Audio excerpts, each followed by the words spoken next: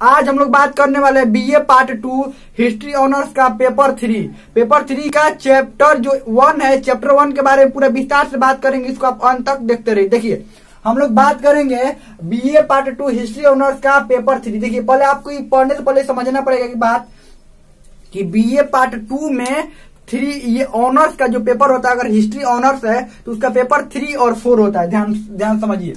इसमें paper three और paper three और पेपर फोर होता है हिस्ट्री का, ये जो हिस्ट्री ऑनर्स का, अगर हिस्ट्री ऑनर्स होगा तो ऑनर्स का पेपर क्या होता है?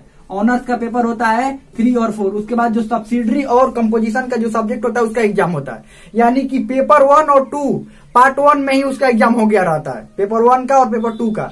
ये पार्ट टू में क्या होता है? पेपर थ्री और पेपर फोर का ऑनर्स का एग्ज़ाम होता है। और उसके बाद ऑनर्स के अलावा जो कुछ भी सब, सब्जेक्ट होता है सब्सिडरी और कंपोजिशन उसका भी एग्ज़ाम पार्ट टू में होता है। यानी पार्ट टू में क्या होता है? ये ऑनर्स का दो पेपर होता है और उसके बाद सब्सिडरी और कंपोजिशन का पेपर होता है। तो ये ऑनर्स के पेपर थ्री और फोर तो हम लोग आज बात करेंगे ऑनर्स के पेपर थ्री के बारे में।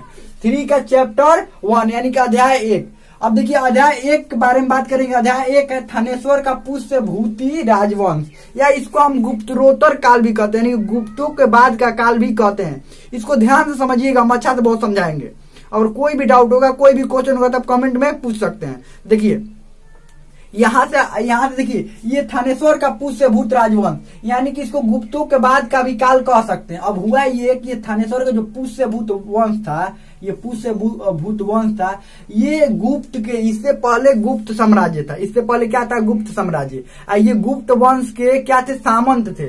सामंत का मतलब ये होता है, सामंत का मतलब होता है, मान लीजिए ये गुप्त वंश हो गया, इतना गुप्त वंश। इसके अंतर्गत छोटे छोटे जो राजा आएँगे, मान लीजिए बहुत सारे छोटे छोटे राजा आए बहुत सारे जो छोटे छोटे राजा होंगे, इसके अंतर्गत, मान लीजिए ये पूरा राजा हुआ इसके अंतर्गत छोटे छोटे जो राजा होंगे, वो उसके सामंत कहलाते हैं। यानी कि इसके अंतर्गत जो भी एक बड़े राजा के अंतर्गत छोटे छोटे राजा आते हैं, वो क्या कहलाते हैं? सामंत।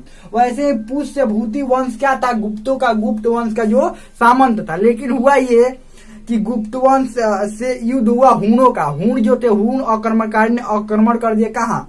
गुप्तों के साम्राज्य पर। गुप्त वंश के जो साम्राज्य था, पूरा साम्राज्य पर आक्रमण कर दिया किसने? हुणों ने। अब ये गुप्त वंश के जो लोग जो गुप्त वंश के शासक थे, वो किसमें उलझ गए? हुणों से युद्ध करने में। तब तक हुआ ये कि ये लोग अपने आप को स्वतंत्र घोषित कर लेंगे। हम हमारे ऊपर कौन राज्य नहीं है? कोई नहीं है हमारे ऊपर। हम ही राजा हैं। मेन कौन है? हम ये कि ये, ये किसके अंतर्गत आते थे? ये जो पुष्य भूति वंश ये गुप्तों के अंतर्गत आते थे। इन्हीं के सामंत थे। लेकिन गुप्त वंश किसमें उलझा? हूणों से आक्रमण करने में। बात ये था ना। हूण आक्रमण का तो थोड़ा ज़्यादा मात्रा में आक्रमण कर दिए थे मतलब पूरा तहस ढेर कर दिए थे। इसीलिए गुप्त वंश थोड़ा सा ज़्यादा उलझ गए थे उसमें। तो ये क्या कि अपने आप को स्वतंत्र घोषित किया। यही नहीं, और भी बहुत सारे छोटे छोटे जो राजवंश है ना अपने आप को स्वतंत्र घोषित कर लिए। यही इंतज़ार में था कि कभी गुप्तों पर आक्रमण कोई करे कि हम अपने आप को क्या कर ले? स्वतंत्र घोषित कर ले इन्होंने क्या किया?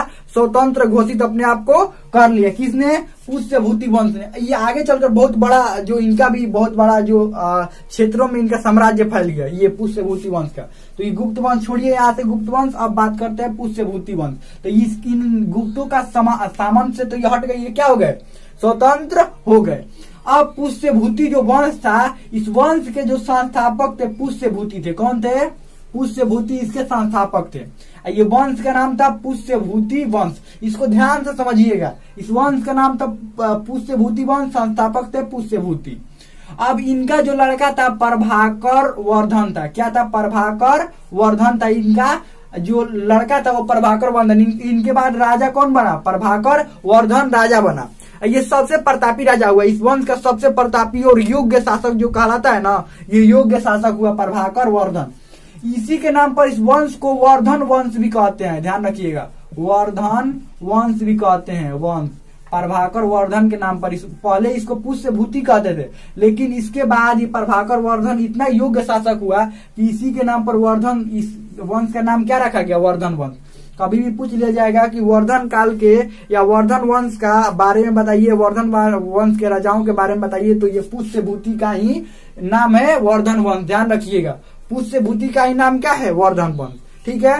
ये योग्य शासक हुआ प्रभाकर वर्धन। हुआ ये कि इसके तीन इसके भी तीन गो इसके भी तीन गो संतान थे। कौन कौन थे? संतान तीन थे। पहला था, ये दो गो लड़का थे और एक लड़की थी। राजवर्धन, हर्षवर्धन और राजश्री। हर्षवर्धन का नाम तो आप जानते ही होंगे। तो राजवर्धन, हर्षवर्धन और राजश्री। तो प्रभाकर वर्धन के बाद राजा बना राजवर्धन। कौन राजा बना? राजवर्धन।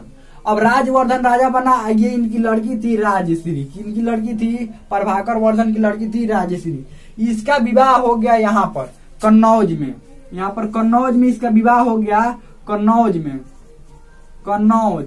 कन्नौज में इन, इसका विवाह हो गया इसका विवाह हुआ था ग्रह वर्मन से। किससे हुआ था? यहाँ के राजा थे ग्रह वर्मन ग्रह वर्मन से इसका विवाह हो गया। किसका विवाह हो गया? राजश्री का। ध्यान समझिएगा यहाँ पर लिख देते हैं। राजश्री। राजश्री का विवाह किससे हुआ? कन्नौज के जो शासक थे ग्रह वर्मन उनसे इसका विवाह हो गया। उसके बाद विवाह होने के बाद हुआ ये कि यही नीचे मालवा था। क्या था? मालवा। मालवा। ध्यान रखिएगा। ध्यान समझिएगा, नहीं तो यहाँ पर ये समझे में नहीं आता है। राजश्री का विवाह हुआ ग्रह वर्मन से, जो कन्नौज के क्या थे? शासक थे। कन्नौज के क्या थे? शासक थे। इनका जो पुष्य भूति था ना, ये पुष्य भूति का राजधानी था यहाँ पर। यहाँ पर थानेश्वर में हरियाणा। हरियाणा थानेश्वर में था। थानेश्वर। थानेश्वर ये लोग यहाँ पर रहते थे। ये जो राजवर्धन था, यहाँ का राजा था। इसकी इसकी जो बहन राजश्री थी, इसकी विवाह किससे हो गई? ग्रह वर्मन कन्नौज में हो गई। कन्नौज में हो गई ग्रह वर्मन से। उसके बाद नीचे मालवा था। ये मालवा था ग्रह वर्म ये नीचे मालवा था। अब मालवा से ये कन्नौज का बड़ा जल्दी लड़ाई होता रहता था। बहुत पुराना इन लोगों का आपसी झगड़ा बहुत पुराना था। ये शादी होते ही ग्रह वर्मन को इसने मार दिया। किसने मार दिया? मालवा का शासक था देवगुप्त। क्या नाम था इसका? देवगुप्त। यहाँ का शासक देवगुप्त ने किसको मार दिया? ग्रह बर्मन को। लो। शादी होता राजश्री से शादी हुआ ग्रह बर्मन का मार दिया इसने। किसको? इसने मालवा के शासक ने ग्रह बर्मन को मार दिया। जब ये बात पता चला राजवर्धन को राजवर्धन को जब पता चला, अब राजवर्धन बताइए इसकी बहन की शादी यहाँ पर हुई है ग्रह वर्मन से उसी को मार दिया। जब ये राजवर्धन को पता चला कि मार दिया तो इसने क्या किया? यहाँ के शासक जो थे, मालवा के शासक को इसने मार दिया। अब मालवा के शासक जो थे, देवगुप्त, उनका एगो दोस्त था यहाँ पर। शशांक इसका नाम था? शशांक नाम था। शशांक इसका नाम था? अब इसको जब पता चला कि राजवर्धन ने हमारे दोस्त को मार दिया, इसको जब पता चला कि राजवर्धन ने हमारे दोस्त को मार दिया तो इसने मार दिया राजवर्धन को। ले। इसने मार दिया किसको? राजवर्धन को। अब जब इसको, अब ये कौन बचा है यहाँ पर? हर्षवर्धन। और एक और बात ध्यान रखिएगा। यहाँ पर जब इसने मालवा के शासक ने जब ग्रह वर्मन को मारा था यहाँ पर तो बचा कौन था? राजश्री बची थी ना? तो राजश्री को भी ये मारना चाहता था मालवा के शासक, लेकिन ये राजश्री कहाँ भाग गई थी? जंगलों में भाग गई थी।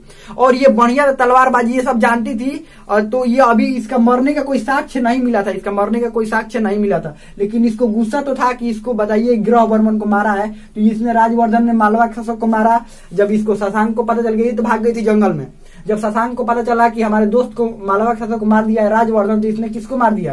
राजवर्धन को। अब देखिए, बचा यहाँ पर कौन है? हर्षवर्धन। अब हर्षवर्धन की बारी है। हर्षवर्धन।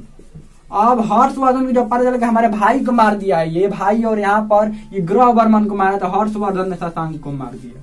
लीजिए। अब क्या हुआ? ये पूरा यहाँ पर, ये तो मर ही चुका था ग्रह वर्मन मालवा का शासक भी खत्म, यहाँ का शासक भी खत्म। तो ये पूरा ये साम्राज्य हो गया था। किसका? पुष्य भूत यानी कि वर्धन वंश का ये पूरा साम्राज्य फैल गया। एक बार और समझाते हैं, ध्यान समझिए क्या हुआ था। ध्यान समझिएगा। ये जो प्रभाकर वर्धन के तीन गो संतान थे, राजवर्धन, हर्षवर्धन, राजश्री। प्रभाकर वर्धन के बाद राजवर्धन का राजवर्धन राजा बना। इसके बाद ये राजश्री का विवाह। इसकी बहन थी ना, इसकी बहन थी राजवर्धन की। राजश्री का विवाह कन्नौज के जो शासक थे ग्रह वर्मन उससे उससे हुआ। राजश्री का विवाह कन्नौज के शासक ग्रह वर्मन से हुआ। अब ये कन्नौज के मालवा से ये आपस में युद्ध चलता रहा था, झगड़ा। तो शादी होते इसने किसको मार दिया? ग्रह वर्मन को। किसको मार दिया? ग्रह वर्मन को मार दिया। और ये राजश्री कहाँ भाग गई? जंगलों में भाग गई। ये राजश्री ये राजश्री को भी मारना चाहता था कहाँ भाग गई? जंगल में। तो उसके बाद ये जब पता चला राजवर्धन को कि ग्रह वर्मन को मालवा के शासक मार दिया तो राजवर्धन ने क्या किया? मालवा के शासक को मार दिया। जब मालवा के शासक का एगो दोस्त था, कौन था? शशांक, यहाँ का शासक था। जब शशांक को पता चला कि हमारे दोस्त को मार दिया तो इसने किसको मार दिया? राजवर्धन राजवर्धन ने मारा था।